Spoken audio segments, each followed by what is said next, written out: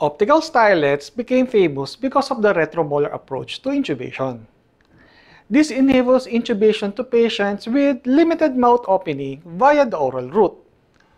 In this video, we will discuss the different techniques in performing retromolar intubation.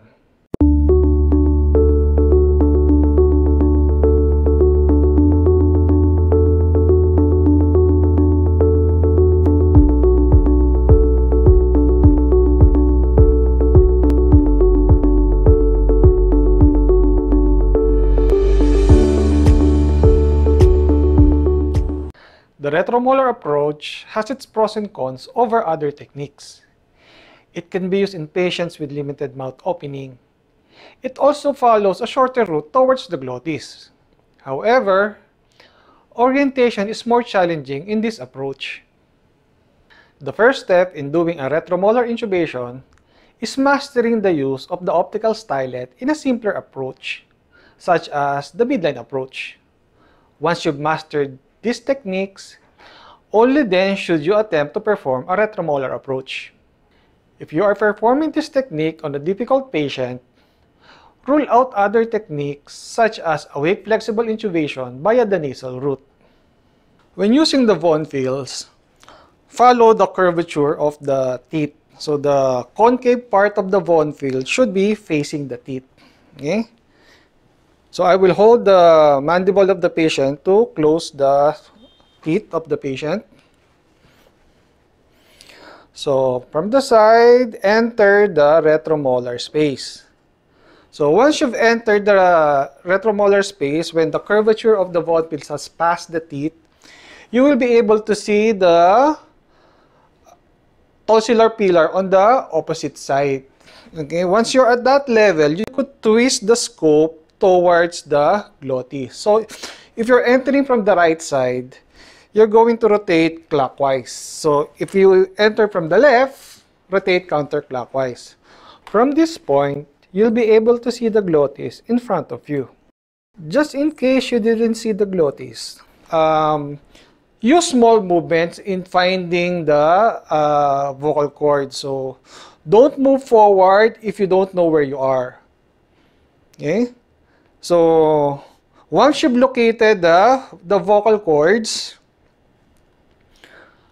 enter the vocal cords and then push down the ET tube. Okay? So from here, you could see the marker of the ET tube and the vocal cords at the side of the marker. Okay, so you know you're at the right level and you're sure that you're inside the trachea. Then remove the Bonfils the way you've entered. Okay? So when using the CMAC VS, it's similar to using the Bonfils. Again, follow the curvature of the teeth. So the articulating part of the CMAC VS should be facing the patient. Okay, enter the side.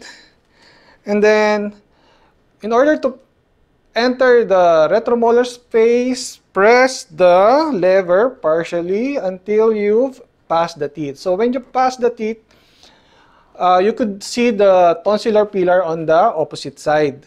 And then, twist the CMAC VS caudally so that you'll be facing the vocal cords. Okay, so maneuver it until you've entered the vocal cords and then release the lever before pushing down the ET tube. Okay? So here, there's a little bit more resistance, so that's why it's important to put a lot of lubricant on the scope and on the ET tube. Okay? When I was in residency, my professor in anesthesia taught me a technique in intubating a difficult airway blindly. This is called the ice pick maneuver. So what you do is hyperextend the neck of the patient, straighten the ET tube like an ice pick, insert it from the side, pointing towards the glottis. So Here, you could approximate the, the position of the glottis while feeling for the air from the other end of the ET tube. Once you feel the air, you could push down so that you'll be entering the trachea. I've adapted this technique uh, using the CMAC VS. Using the CMAC VS, okay, hyperextend the neck of the patient, insert the, the VS from the side, so see, it's straight like an ice pick. So target the position of the glottis. Okay. See, from the side, it's almost there. So now, since you could articulate, you could just press the lever upwards since you've seen the arytenoids and then enter the vocal cords.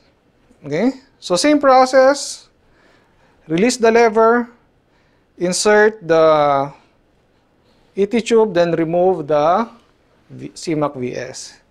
So, you're basically doing an ice pick technique, but under vision. An easier way of performing a retromolar intubation is with a combination technique. The first time I performed a retromolar approach, I was giving a lecture about airway management in a province in the Philippines. After the lecture, they asked me if I could help manage an airway of the patient. The patient was a 40-year-old male for excision of a left preauricular mass. The complicating factor was that the patient was in a motor accident a few years back.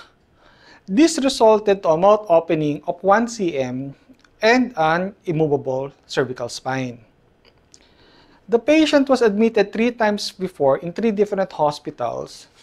In all of them, the surgery was deferred due to failure of intubation. Ideally, we could perform an awake nasotracheal intubation with a flexible scope. However, there were no flexible scope available. They have a D-blade, and I have my Bonfils with me. So, plan A is to perform videolaryngoscopy Plan V is a combination technique of VL and Bonfils. When we inserted the D-blade, it was a Cormack Lehane 4. So we proceeded to insert the Bonfils via the retromolar approach and we were successful to intubate the patient. So there are some advantages in using the D-blade together with the optical stylet. So even if you don't see anything with the D-blade, the D-blade could create space by pulling on the tongue. And the nice thing is it's thin. So if you have a mouth opening of around half an inch, you could insert the D-blade um, and help the intubation of the optical stylet. Okay, so for example, we've inserted the D-blade and we're at Cormack Lehane 4. Okay. use the optical stylet. You could still use the retromolar approach. So since if you have a patient with small mouth opening, there is uh, the only space remaining is the retromolar space. And then you could intubate using the technique that we've shown earlier. Okay. The easy part here is the D-blade already um, created more space by pulling on the tongue. Okay?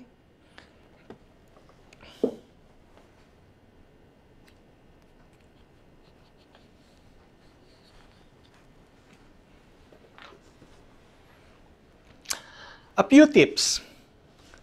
Apply generous lubricant on the scope and on the ET tube, especially at the cuff. Movement is restricted because of the small space and lubrication helps. Also, it minimizes the chances of damaging the cup when it passes the teeth. When lost, follow the dark side. Remember, holes are dark, walls are bright. Also, look for landmarks. Landmarks that are easy to see includes the tongue, tonsillar pillars, epiglottis, piriform fossa, and the arytenoids. We take the retromolar route because there is small or no space between the incisors. Take note that there are some patients where there is also no retromolar space. However, there are also patients with missing teeth and you could use this space to insert the optical stylet.